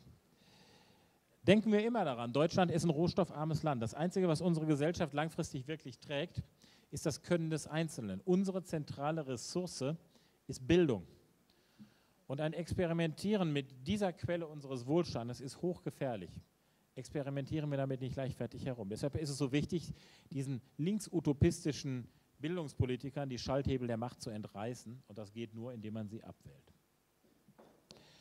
Ein, ein weiteres ganz zentrales Problemfeld deutscher Politik ist bereits vorher angeklungen. Äh, ich komme zur Migrationspolitik. Hier steht Einwanderungspolitik, aber eigentlich Migrationspolitik. Einwanderung setzt schon voraus, dass sie alle einwandern sollten oder das wollen wir ja gar nicht. Ich tue mich damit etwas schwer. Man muss da wirklich mit der Sprache aufpassen. Das ist wirklich schwierig. Ähm, das, was sich auf diesem Gebiet abspielt, überhaupt als Politik zu bezeichnen. Politik, meine Damen und Herren, beinhaltet immer die bewussten Entscheidungen zur Steuerung eines Gemeinwesens. Von bewussten Entscheidungen kann hier aber schon lange keine Rede mehr sein. Die letzte wirklich bewusste Entscheidung, die getroffen wurde im Bereich Einwanderungs- oder Migrationspolitik, wie Sie es nennen wollen, ist mittlerweile, ich muss ich rechnen, 17, äh, 24 Jahre her. Das war 1993. Bis dahin lautete der Artikel 16 Grundgesetz ganz lapidar, politisch Verfolgte genießen Asylrecht. Das war eine Regelung, die hatte man 1949 vor dem bekannten geschichtlichen Hintergrund der dunkelsten Jahre deutscher Geschichte, Nazi-Barbarei, in das Grundgesetz aufgenommen. Man wollte damals und aus der Sicht 1949 war das vernünftig, das Signal in die Welt senden, dass man die richtigen Lehren aus der Nazi-Barbarei gezogen hatte. Gedacht war daran, einzelnen politisch Verfolgten eine Zuflucht vor ihren Herrschern zu gewähren. Nichts, meine Damen und Herren, lag den Vätern und Müttern des Grundgesetzes ferner, als über diese Regelung eine unkontrollierte Massenzuwanderung aus aller Herren Länder nach Deutschland auszulösen. Vor dem Hintergrund des Jahres 1949 erschien das auch unvorstellbar. Damals lag Deutschland in Trümmern und äh, Deutschland war kein attraktives Land für äh, Menschen, die überhaupt auf dem Migrationsweg waren. Die weltweiten Reisemöglichkeiten waren sehr beschränkt und Deutschland war, wie gesagt, nicht attraktiv. Als sich aber jetzt Ende der 80er und Anfang der 90er Jahre ähm, Andeutungen dessen zeigten, was wir heute erleben, gab es eine jahrelange intensive Debatte, an die ich mich gut erinnern kann, auch wenn das schon lange her ist, über den Sinn dieses Artikels. Im Ergebnis kam heraus, dass man den Artikel 16 modifiziert hat. Es ist eingefügt worden in Artikel 16a Grundgesetz, der in einem kleinen Absatz 2 unmissverständlich klarstellt, ich fasse das zusammen, dass niemand einen Anspruch auf Asyl hat, der über einen sicheren Drittstaat einreist. Das, meine Damen und Herren, war die letzte vernünftige Änderung im deutschen Asylrecht. Jetzt gibt es ein kleines Problem bei der ganzen Geschichte. Niemand schert sich drum. Wohlgemerkt, niemand schert sich um einen Artikel unserer Verfassung. Die Praxis nämlich sieht so aus. Nach wie vor kann jeder, aber auch wirklich jeder, der an der deutschen Grenze ankommt und das Wort Asyl halbwegs fehlerfrei aussprechen kann, fest damit rechnen, in unser Land einreisen zu dürfen. Das auch dann, wenn er keinerlei Papiere dabei hat. Im Gegenteil, das ist der Sache sogar förderlich. Selbst wenn er unter Angabe offensichtlicher Fantasieidentitäten sich Zutritt zu unserem Land verschafft. Der Fall des Berliner Attentäters Anis Amri mit seinen mehr als zehn Scheinidentitäten hat das auf tragische Art und Weise beleuchtet. Und der deutsche Staat lässt das geschehen. Er lässt es geschehen, dass Menschen ohne Papiere in unser Land hineinmerkeln und sich anschließend mit Fantasieidentitäten ein neues Leben verschaffen. Fantasieidentitäten, die dann natürlich als unüberwindliches Abschiebehemmnis die überfällige Rückführung dieser Leute verhindern. Denn wenn die Identität eine Fantasieidentität ist und Sie gar nicht wissen, wo die wirklich herkommen, in welches Land wollen Sie eigentlich abschieben? Meine Damen und Herren, ich frage mich, warum scheitert eigentlich immer die Ausreise an fehlenden Papieren, aber nie die Einreise?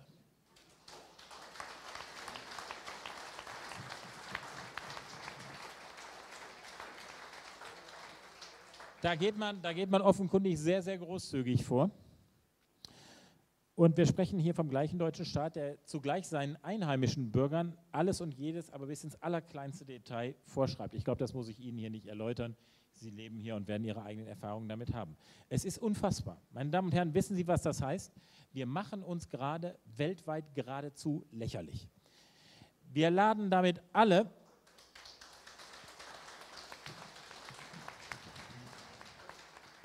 Wir laden damit alle, die nicht das gleiche Wohlstandsniveau erreicht haben wie wir, und das sind die meisten Staaten der Welt, wenn auch nicht alle, förmlich ein, auf diesem Weg vom deutschen Sozialstaat zu partizipieren. Schon der berühmte Ökonom Milton Friedman stellte ziemlich trocken dazu fest, man könne einen Sozialstaat haben, man könne auch offene Grenzen haben, aber man könne nicht beides zugleich haben. Wie recht er doch hatte. Allmählich verstehen auch Teile der deutschen Politik, dass das so auf Dauer nicht funktionieren wird. Und so bedienen sie sich nun also hemmungslos bei unseren Vorschlägen. Der baden-württembergische Innenminister Strobel, ein ganz spezieller Freund von mir, beispielsweise schlug große Aufnahmelager in Nordafrika vor. Gut aufgepasst, Herr Strobel, ein AfD-Vorschlag, der vor kurzem noch aus Ihrer Partei, Strobels Partei CDU, als unmenschlich und rechtsaußen gebrandmarkt wurde. AfD-Vorschlag, unser Vorschlag, verkaufen die jetzt als Ihren. Oder Herr Oppermann von der SPD.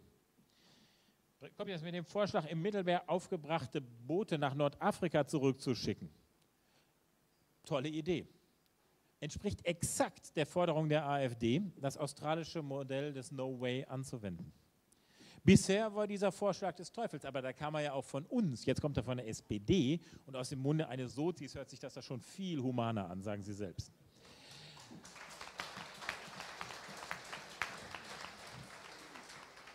Aber, aber daran sehen Sie, und da schließt sich der Bogen ein Stück weit auch, der Vortrag heißt ja, AfD wirkt. Und hier wirken wir. Und das ist gut. Wenn auch noch nicht bei allen. Also nehmen Sie mal Frau Göring-Eckardt. Ja, ist ähnlich, Reaktion ist ähnlich wie bei Roth, ich kenne das ja. Göring-Eckardt ist äh, aber eigentlich fast noch eine Nummer krasser inhaltlich.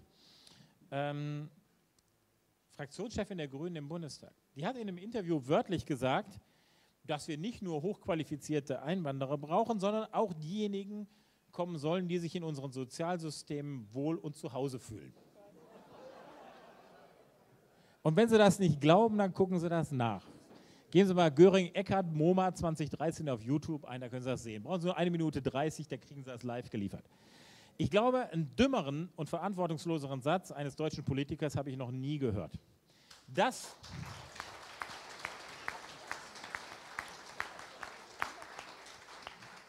Das, meine Damen und Herren, ist also grünes Verständnis von Einwanderung nach Deutschland. Willkommen in unseren Sozialsystemen. Man muss sagen, das klappt ja ganz gut. Übrigens, gilt es hier, und das ist mir wichtig, einem weit verbreiteten Missverständnis gegenüber unserer Partei entgegenzutreten. Ich habe das eben schon mal angedeutet, aber ich will das auch explizit machen. Manche sagen uns nach, zum Beispiel die, die da draußen gegen uns protestieren, zum Beispiel immer wieder Medienvertreter, zum Beispiel sowieso die Vertreter der Kartellparteien, die sagen uns nach, wir würden uns gegen die Menschen wenden, die nach Deutschland wollen. Und meine Damen und Herren, das tun wir nicht. Ich kann das nicht oft genug wiederholen. Deren Verhalten ist völlig normal und verständlich. Sie reagieren, wie Menschen das tun, auf einen Anreiz, der ihnen ähm, von der deutschen Politik gesetzt wird. Jeder, der kommt, darf rein. Ja, was würden Sie denn tun, wenn Sie völlig aussichtslos irgendwo in Algerien, äh, Marokko oder äh, ich brauche die Länder gar nicht alle aufzuzählen, sitzen, äh, keine Chance auf Arbeit, keine Chance auf ein auskömmliches Leben und dann heißt es, geh mal da hoch, da kommst du schon rein. Das funktioniert dann ist doch verständlich, dass die Menschen das tun. Das ist eine Anreizsetzung. Und deswegen haben wir, wenn wir uns dagegen wenden, nichts vor Asylantenheimen zu suchen und unseren Protest nicht dort abzuliefern, sondern da, wo er hingehört. Und das ist vor dem deutschen Bundeskanzleramt, meine Damen und Herren.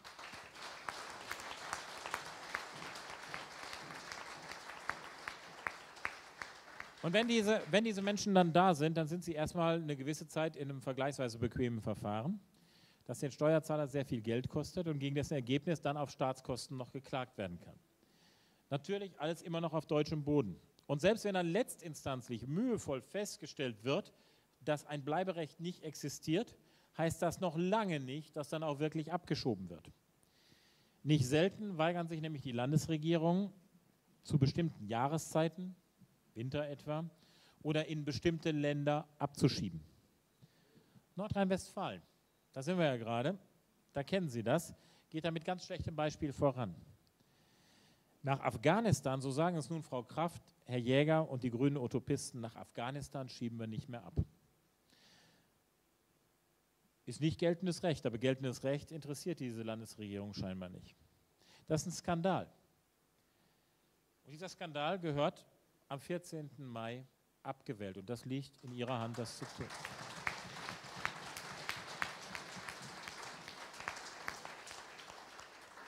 Die ungeheuren Sozialkosten, die, da, die sie damit der Gesellschaft aufs Auge drücken, die, die so entscheiden, interessieren diese Leute genauso wenig wie der völlig verfehlte Anreiz, der sich via Smartphone nun in Windeseile und logischerweise nach Afghanistan herumsprechen kann.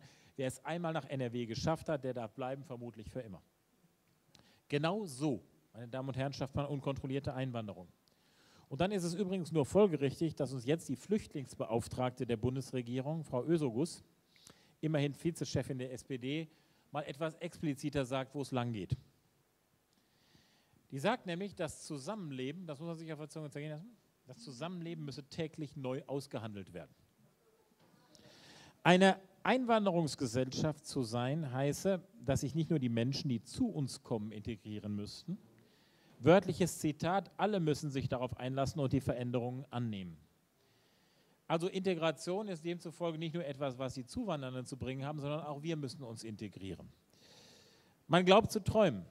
Die Regeln müssen jeden Tag neu ausgehandelt werden, sagt diese Frau. Stellvertretende SPD-Vorsitzende. Wofür bitte haben wir unsere Werte in Gesetzesform gegossen? Wozu gibt es dann noch ein Grundgesetz? Wozu gibt es ein BGB? Wozu gibt es ein Strafgesetzbuch? Um das jeden Tag neu auszuhandeln? Wer so etwas sagt, meine Damen und Herren, der steht nicht mehr auf dem Boden geltenden Rechts und gehört im Grunde nach vom Verfassungsschutz beobachtet.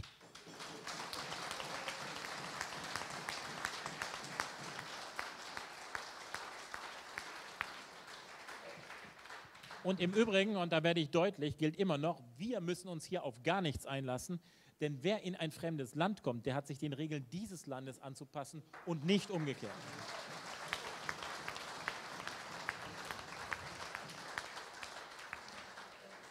Frau Özogus deutet hiermit genau das an, was wir immer offen ausgesprochen haben. Meine Damen und Herren, es droht selbstverständlich eine Gefahr der Islamisierung in Deutschland.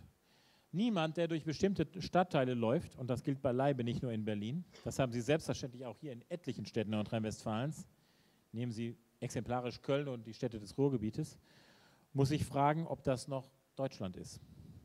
Für Frau Ösogus und mittlerweile muss man leider sagen, auch für die Islamversteher von der CDU, vom Schlage eines Laschen Armin Laschet, ist das alles kein Problem. Denn die Kartellparteien sind sich ja doch einig. Der Islam gehört zu Deutschland. Meine Damen und Herren, ich sage Ihnen hier klipp und klar, der Islam gehört nicht zu Deutschland.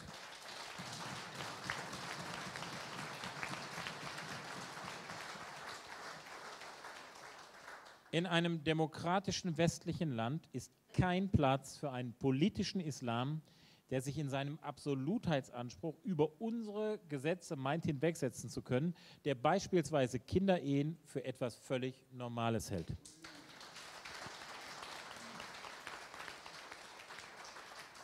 Und es wird erstaunlich wenig darüber gesprochen, dass sogar manche Gerichte Kinderehen anerkannt haben. Auch die Koranverteilungen, bei denen neue Rekruten für den IS angeworben werden, sind, wie es scheint, in den Augen einiger Politiker kein Problem. Aber eine Islamisierung, eine Islamisierung hat in Deutschland ja noch nicht stattgefunden, so sagt uns Herr Kauder von der CDU in seinem gewohnten Kauderwelsch. Äh, übrigens, meine Damen und Herren, haben Sie sich schon mal gefragt, wie das eigentlich gehen soll? Der Islam gehört angeblich zu Deutschland, aber eine Islamisierung, die habe nicht stattgefunden. Das ist die Dialektik der CDU. Und die finde ich gelinde gesagt, einigermaßen erstaunlich. Wenn man sich die Frage stellt, seit wann das Christentum zu Deutschland gehört, so muss die Antwort lauten, seit, oh, herzlichen Dank, seit der Christianisierung. Wenn äh, also nun der Islam zu Deutschland gehören sollte, so müsste selbstverständlich zumindest in Teilen eine Islamisierung stattgefunden haben. Anders geht es gar nicht. Aber aber hier sehen Sie mal wieder ein Kommunikationsmuster der Kartellparteien. Alles Problematische wird, und das hat Methode, in verbalen Nebelkerzen gehüllt und so weich gespült, dass die weniger interessierten Bürger bloß nicht aufgeschreckt werden. Aber sie werden aufgeschreckt, nur eben leider zu spät. Nämlich dann, wenn sich vor ihrer Haustür bereits muslimische Parallelgesellschaften breit gemacht haben. Die deutsche Politik, und das gilt mittlerweile auch für die grünisierte CDU Merkel, äh, CDU, will in ihrer ideologischen Verblendung eine ganz einfache Tatsache nicht wahrhaben.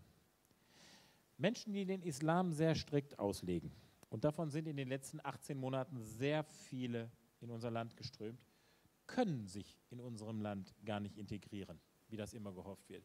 Sie können es nicht, weil sie diese Islamauslegung haben. Bei strenger Auslegung des Islam sind wir Einheimische nun mal Ungläubige, da beißt die Maus keinen Faden ab. Alles andere ist Quatsch. Und keine grün-rot-schwarze Gutmenschenkoalition wird daran irgendwie auch nur das Geringste ändern können. Es geht schlicht nicht. Und ich sage Ihnen, ich will das nicht, meine Partei will das nicht. Ich will keine Parallelgesellschaften, ich will keine Scharia-Richter, die Recht sprechen. Ich will auch nicht, dass eine Scharia-Polizei die Menschen auf der Straße ängstigt, wie das vor einiger Zeit in Wuppertal der Fall war. Ich will keine speziellen Badetage für Muslime. Ich will keine Kinderehen. Ich will keine Burkas.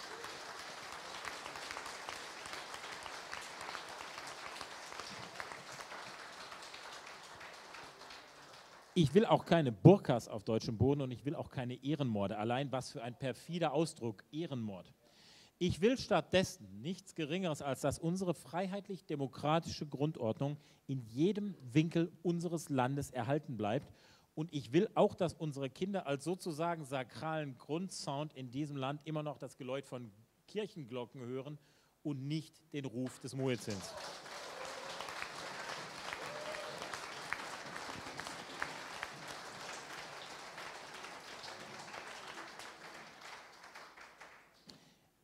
Ich will Ihnen aber auch etwas anderes dazu sagen.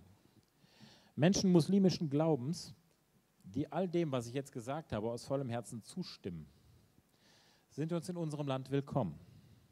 Das sind nämlich genau die, und die gibt es auch, die sich über viele Jahre hinweg gut in unsere Gesellschaft integriert haben, die geschätzte Mitglieder unseres Gemeinwesens geworden sind und auf die wollen und müssen wir nicht verzichten.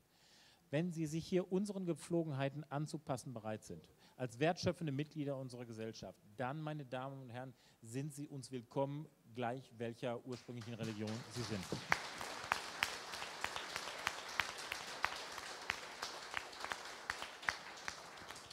Und ich darf Ihnen sagen, dass ich für diesen Applaus, der dann auch kommt, dankbar bin. Denn das zeigt, wie differenziert Sie ebenso wie wir von der AfD an diese Geschichte herangehen. Das ist wichtig. Nur Muslime, nur solche Muslime, und die gibt es eben in nicht geringer Zahl, und dafür dürfen wir die Augen nicht verschließen, die unsere freiheitlich-demokratische Grundordnung durch einen totalitären Islam ersetzen wollen und unsere Grundordnung ablehnen, die sind in diesem Land falsch. Und ich rufe diesen Menschen ganz klar zu, sucht euch eines der 57 muslimischen Länder auf dieser Erde, in denen ihr eure Vorstellungen ausleben könnt, aber nicht hier.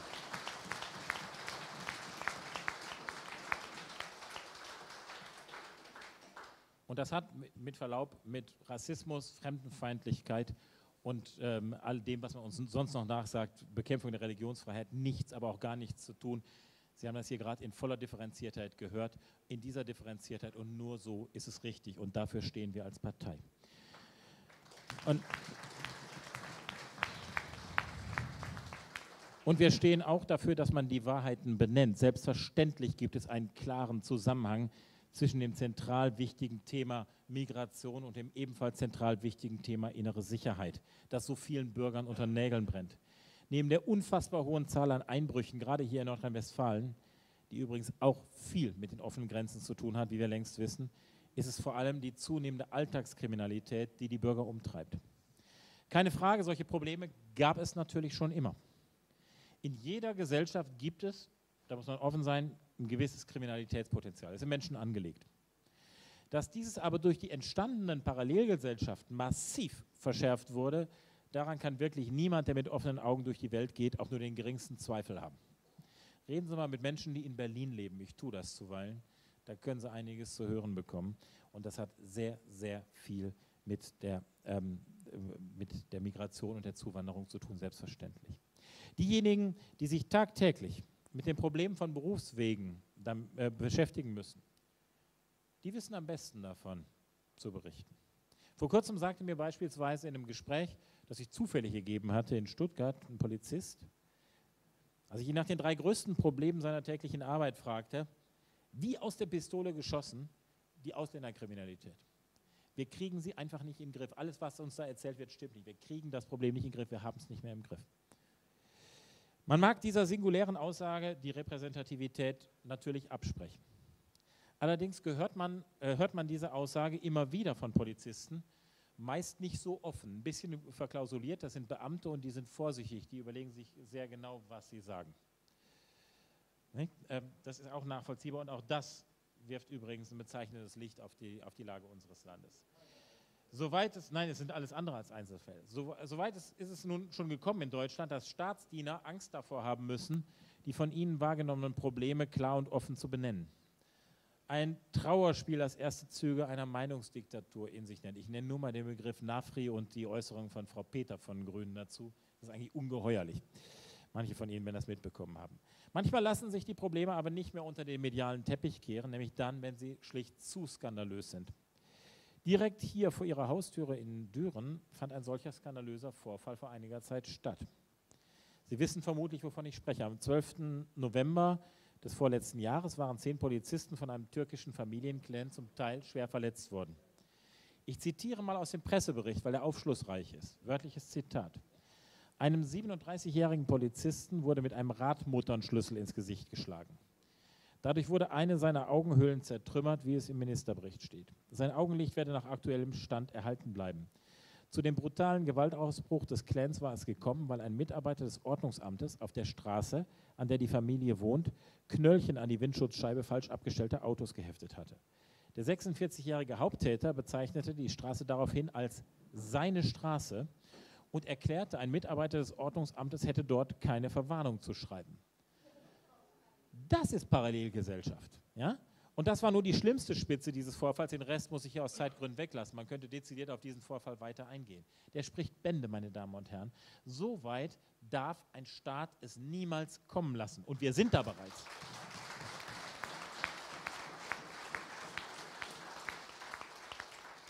Das war garantiert nicht deren erste Auffälligkeit. Warum also wurden, so die Frage muss man so stellen, hier nicht vorher Grenzen gesetzt? Und zwar schlicht und einfach die Grenzen des geltenden Rechts. Wissen Sie, wir müssen nicht schreien, mehr, äh, mehr Rechte äh, zu schaffen oder sowas. Wir müssen sehen, dass wir das geltende Recht, das reicht völlig aus, dass wir das geltende Recht konsequent anwenden. Tun wir das, sind wir viele der Probleme los. Aber dafür fehlen die Kapazitäten. Und wissen Sie, warum die Kapazitäten fehlen? Weil wir das Geld brauchen, zum Beispiel für die Versorgung der vielen Migranten, die hier reinströmen. Das ist das Problem. Und Teil des Problems ist dann, das bezieht sich nicht nur auf Ausländerkriminalität, sondern ganz allgemein, eine Justiz, die häufig der, die Bemühungen der Polizei zum Teil aus eigener Ohnmacht ad absurdum führt. Nehmen Sie doch einfach mal so einen Begriff wie den des Intensivtäters. Den Ausdruck kennen wir mittlerweile alle, hat jeder von Ihnen schon mal gehört. Er wird ja von den Medien auch gerne eingesetzt, vermutlich um so ein bisschen Verständnis zu erheischen bei denen, die das nicht verstehen, nach dem Motto, da kann man nichts machen, der ist halt Intensivtäter. Meine Damen und Herren, nichts wäre falscher als das. Dieses Wort ist eine der schlimmsten Verharmlosungen der linksgrünen Alt-68er, denn natürlich kann der deutsche Staat etwas dagegen tun, wie übrigens auch jeder andere Staat dieser Erde entschlossen gegen solche Serientäter vorgeht. Man muss es nur politisch wollen. Und genau hier liegt das Problem. Man will es in den rot-grünen Kreisen nicht, weil es nicht ins eigene Weltbild passt. Sonst müsste man sich und den Bürgern ja eingestehen, dass man im Grunde jahrzehntelang auf dem Gebiet der Einwanderungspolitik genauso versagt hat wie auf dem der inneren Sicherheit. Und dann ist es leichter, Täter zu Opfern zu erklären, Opfern unserer Gesellschaft, die jetzt quasi selbst schuld ist, von diesen Leuten nun drangsaliert zu werden. Und genau deshalb sind unsere Gesetze so dermaßen lasch geworden, dass Serientäter im Vollzug, wohlgemerkt, dass Serientäter zum Teil auch nach mehr als einem Dutzend Verurteilungen den Gerichtssaal mit einer Bewährungsstrafe verlassen. Eine Bewährungsstrafe mit Verlaub, das ist für Typen wie die ein gefühlter Freispruch. Dementsprechend höhnisch lachen sie die anwesenden Opfer dann zur Krönung oft auch noch aus. Meine Damen und Herren, so, genau so züchtet man sich Verbrecher heran, die irgendwann gar keine Grenzen mehr kennen. Dann haben wir auch keine Grenzen mehr im Inneren. Und genau so hüllt man das Vertrauen unschuldiger Bürger in den Rechtsstaat aus. Wenn der Staat das Recht nicht mehr durchsetzt, verliert er seine Legitimation bei den Menschen. Und das wollen wir nicht. Wir wollen einen starken Staat.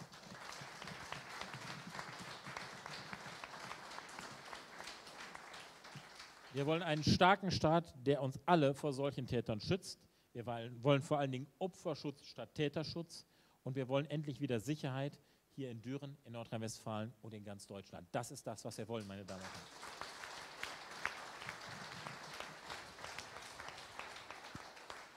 Und wenn man uns dann nachsagt, das sei, das sei Law and Order Politik, na ja klar, was spricht denn dagegen? Law and Order, Gesetz und Ordnung. Aber genau das wollen wir, statt der Kuscheljustiz, über die die Bürger doch längst nur noch den Kopf schütteln. Jeder Täter muss merken, dass sein Handeln eben doch Konsequenzen für ihn haben wird, und zwar im Wiederholungsfall auch sehr unangenehme. Wir brauchen also eine klare Null-Toleranz-Strategie, um unserer Rechtsordnung und ihren Grenzen wieder zur Geltung zu verhelfen, denn diese Grenzen sind mittlerweile eingerissen. Meine Damen und Herren, liebe Bürger hier in diesem Saal, ich kann Ihnen verbindlich sagen, sobald die Bürger der Republik uns mit Regierungsverantwortung betrauen, das wird noch eine Weile dauern, das geht nicht schnell, das wissen wir auch, werden wir diese Grenzen endlich wieder setzen in Nordrhein-Westfalen wie in Deutschland.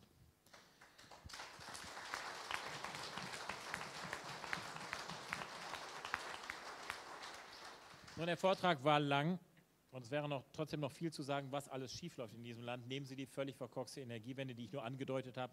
Nehmen Sie die Rettung gieriger Investmentbanken mit Steuergeld. Nehmen Sie die unabsehbaren Folgen des demografischen Wandels. Nehmen Sie die durchgeknallte Genderpolitik und nehmen Sie vieles andere mehr. Allein die Zeit des heutigen Abends reicht dafür nicht aus. Sie merken, ich komme so langsam zum Ende oder auch schnell zum Ende. Dafür hat die Politik einfach zu viel falsch gemacht in den letzten Jahren, zum Teil auch Jahrzehnten. Es bleibt mir daher nur eines den Appell an alle Menschen guten Willens, diesem Treiben nicht länger tatenlos zuzusehen. Deutschland verspielt gerade alles, was es in den letzten Jahrzehnten aufgebaut hat, und das ist nicht wenig. Und es gibt nur eine Kraft, die sich diesem Wahnsinn in den, äh, in den Weg stellt derzeit, und das sind wir, die Alternative für Deutschland.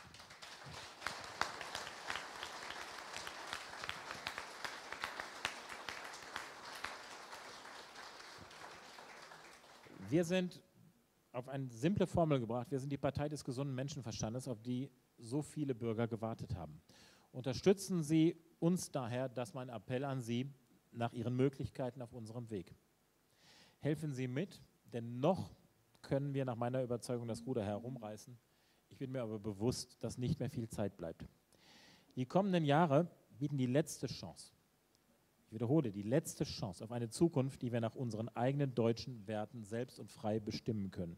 In Frieden und Freiheit, in Wohlstand und in Sicherheit. Gemeinsam können wir unser Land so erhalten, wie wir es gewohnt sind, wie wir es für richtig halten und wie wir es unseren Kindern übergeben wollen. Das ist unsere Aufgabe. Helfen Sie dabei mit. Herzlichen Dank.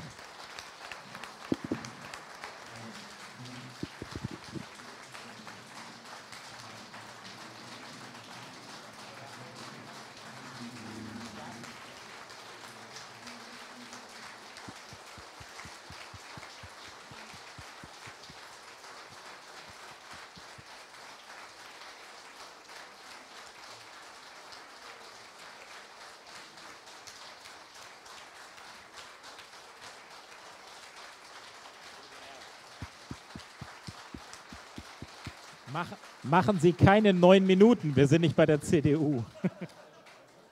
Herr Professor Dr. Meuthen. Herr Professor Dr. Meuthen, recht herzlichen Dank. Ich denke mal, ich spreche im Namen aller hier Anwesenden. Wir bedanken uns recht herzlich für Ihre tolle Rede. Die AfD wirkt tatsächlich. Ich nehme mal an, ich nehme nicht an, ich bin mir ganz sicher, Sie haben uns hier zu 100 Prozent aus der Seele gesprochen und tatsächlich wirklich jedes Thema angesprochen, das uns betrifft.